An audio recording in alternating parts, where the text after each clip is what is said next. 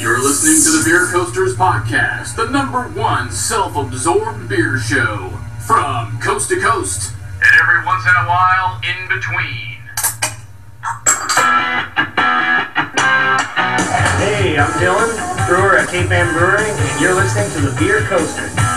My name is Charles Finkel, and I'm the founder and the president of the Pike Brewing Company here in Seattle. I'm uh, glad to uh, to be on the Beer Coasters.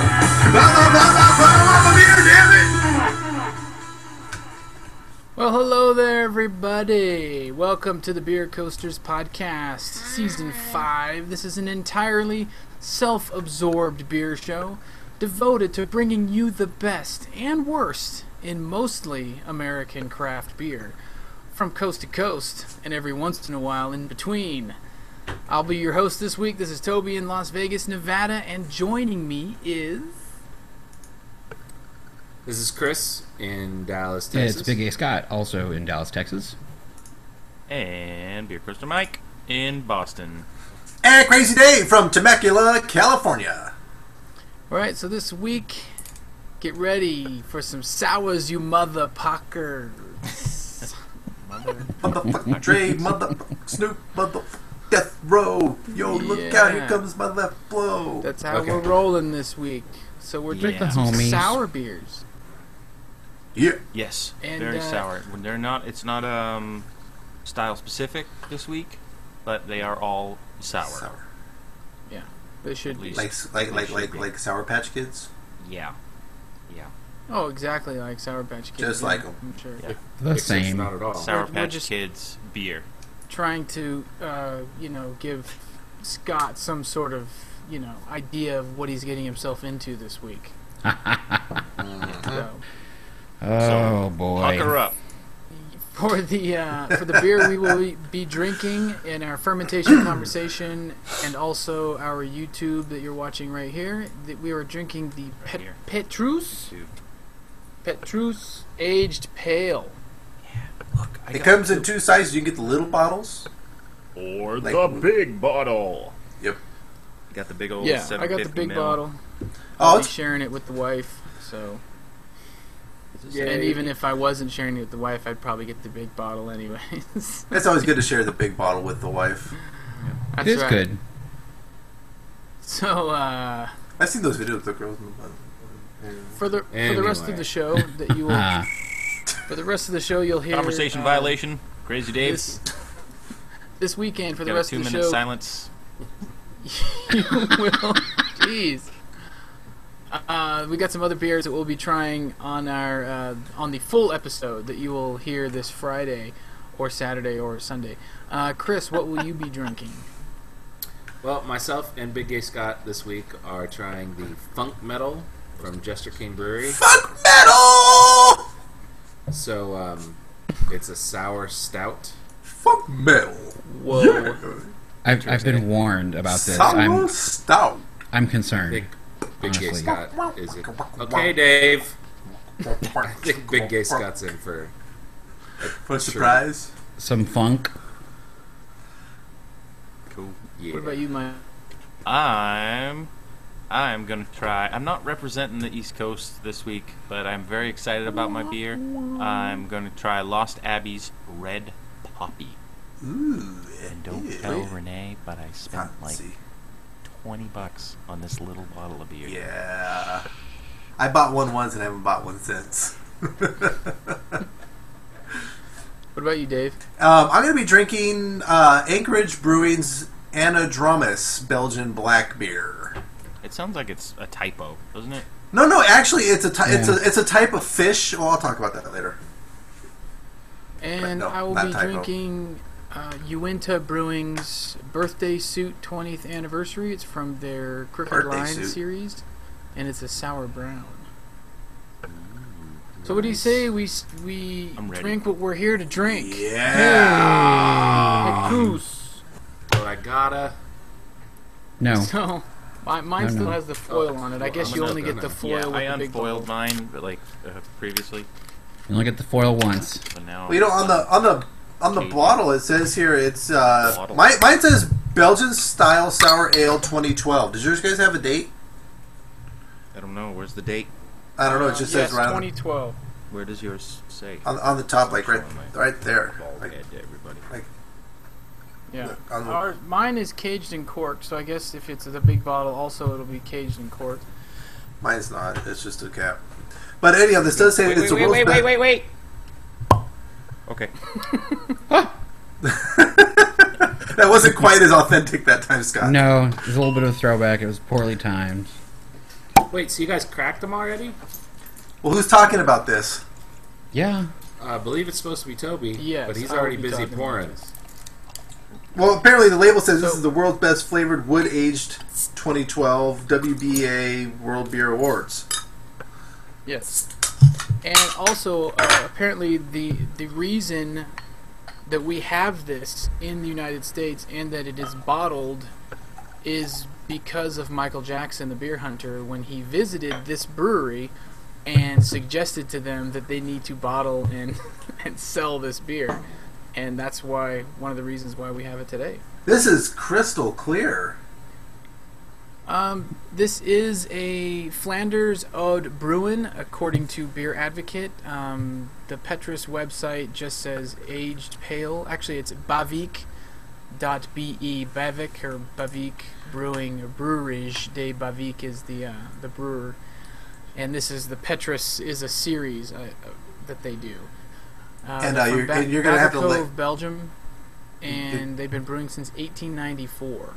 You're totally gonna have to let Google uh, like translate the website for you though. This is actually a light version of the old Bruin, right? Yeah, I believe so, and Not a light version, a pale version.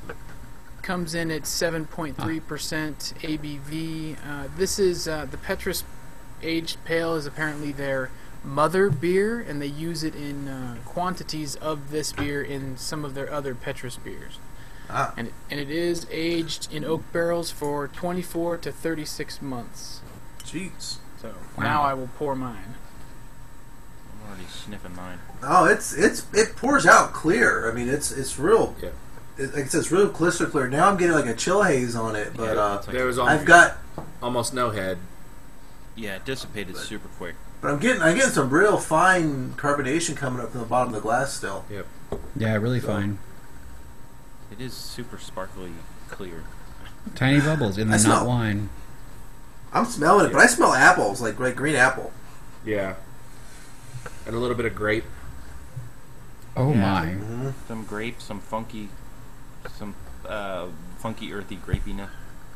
Oh, and it's also dry hopped. I didn't mention that. It's also, yeah, dry hopped. Yeah, I missed the whole color part and the nose part. You did. No, you We're still nosing. Nose, where we haven't sipped yet.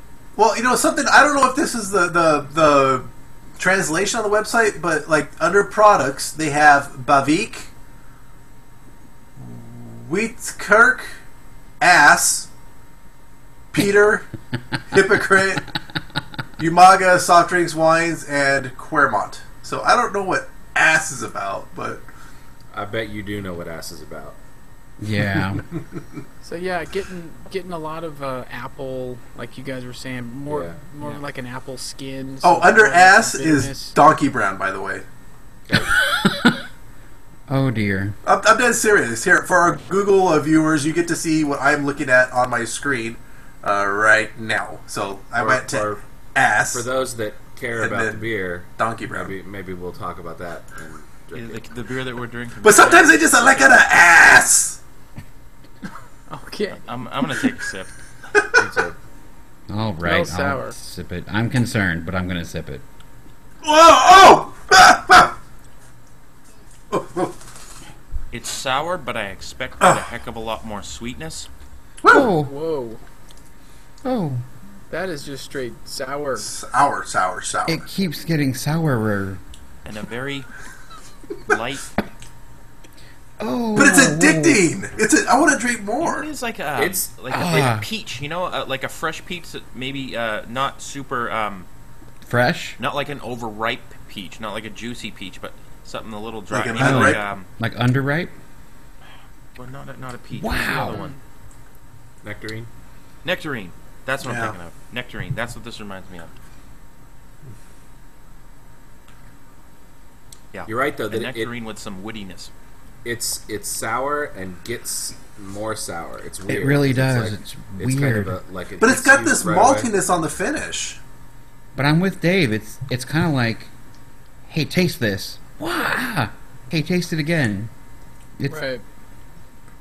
I want to not that- like it, but I think that that is the attraction to a lot of these sour beers is that, I mean, people say, "Oh, this is sour." I don't, you know, whatever. But deep down, everybody likes something that's sour. There's I love me some. I love sucking on some Sour everybody. Patch. Oh, never. Right. That came off Lemonhead, wrong. like that. I like Sour Patch Kids. They're just good. Like you know, you just like eating them and eating them until your like mouth gets totally destroyed by the little sugar crystals or whatever it is. It, I'm not. I really thought there'd be more sweetness, and and there's Yeah. just a lot of tart, and then some very light kind of, um, you know, granule like grainy kind of maltiness. And then after a while, it's just gone. My palate has been But- completely cleansed, and maybe that's Well, that- why we you keep going I'd back really to like it. to try because- that. Well, it's The does it burn off the top layer of the palate? Is that?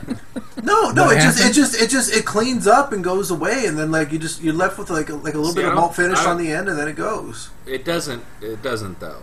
I mean, you guys say that, but I maybe think on it's got front, a lot of acidity. yeah, right especially in the back, in the back of the mouth. It's it hangs around. It's this isn't going anywhere. No, it's a long, it, long does, finish. It is, yeah, it, and it does dry up, obviously because of the, the massive amount of carbonation in it. Well, and that's so yeah. It does have it a crisp. very it's very effervescent. Yeah, so it, it is very crisp and it does finish very clean, but it's it's still there. My mouth is watering like crazy right now. Yeah, That's what Like, makes you wanna drink it sip, more and more. Yeah, it makes Is that you what wanna it take is? Another sip. Yeah. Like, Because your mouth just starts salivate, salivating. you're like, oh, It's- I want yeah, that. it's that So you immediately just- think like, ooh, more of that. yeah. But, and She's I keep, Why? I think I drinking it. yeah I, I think I think there's really like some sort of like physiological thing that just makes you like like when you start salivating you just want to drink some more and then you salivate mm. more and it just it builds up and then the endorphins start going and you just get excited and you know pop a and boner then you're, and like you're- drunk. yeah Or maybe it What would you guys tastes pair good. with this one? Anyone? Cheese. an apple tart. Yeah, Um, something that's sweet and doughy. ooh ooh I would pair it with sauerbraten and red cabbage. Wow. That's actually pretty good. All right, Hmm. Yeah. Mike. Well, I like the actually the idea of a dessert, and I'm thinking like an apple Danish, like apple cheese Danish or something. Yeah. That's kind of what I want with this. Something that's got a um, got a good fresh appley tartness, but some sweetness in there and the creaminess with the, the like the cheese. Uh, Yeah, I, I, think, think, it I really would- I would- plays yeah. well with this. I was Yeah. thinking like uh like um like a salmon with hollandaise sauce that was all wrapped up in a puff pastry. Ooh. hmm.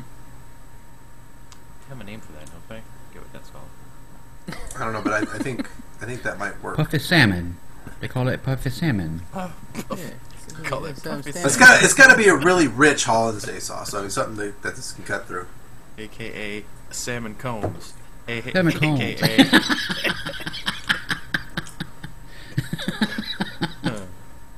I'm with Mike on the cheese Danish. Totally. nice. No, something creamy for sure. Yeah. Cheese Danish wins. Yeah. Papa. All right, everybody. Yes, everybody, it's the pairing wars. Ding ding ding ding. Thanks for uh, checking out our tasting of the Petrus Re- Aged Pale. Pale? Sorry, Petrus Aged Pale. This is Yep. a uh, Yep, yep, yep. sour, sour. Interesting. Oh, we, did we fail to mention that it was a World Beer Award winner? Or we, We didn't talk about we didn't talk, we didn't talk about anything about the ratings. Um, out of the Untappd users, rate this a 3.91 out of 9,750 ratings. Wow. And the The- beer, Beer Advocate users rate this a 91, which is outstanding. outstanding. And the Brothers Alstrom rates this a 98, which is Dang.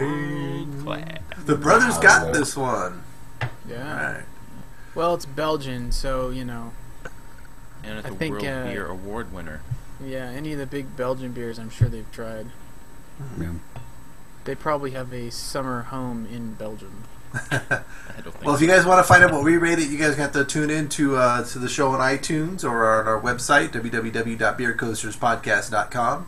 Uh, at the end of the show, in our last call segment, you'll hear what our ratings are. and make a comment down there too. Yeah, you, you can click on it and, and say what we'll, you we'll want. put it on the show next week. You make a comment on this YouTube show, guaranteed your comment will be on next week. Mm-hmm. I don't care what it is. Good, Anything bad, or you want. otherwise. Well, so long as we can read it, you know, like if you just type Yeah, like yeah. like KLSD. We'll try to translate as much as Google will allow us to. Mm-hmm. and, and and try not to to puss out and not like put your real name or or No, put your real name. Yeah, That- especially put your if, real you, name. if you're gonna if you're gonna have the identifies courage to, yourself. to give us Be a negative bold. comment and say who you are. don't don't just troll. No trolling. We should have a troll show. Ooh, Dave's the troll. Sort of. Troll beer. All right. Uh, maybe a Muppet. No, that's this.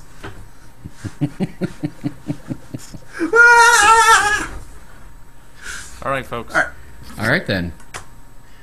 Cheers. And thanks for joining us again, and we will see you next week. Cheers. Cheers. Cheers. Ending broadcast.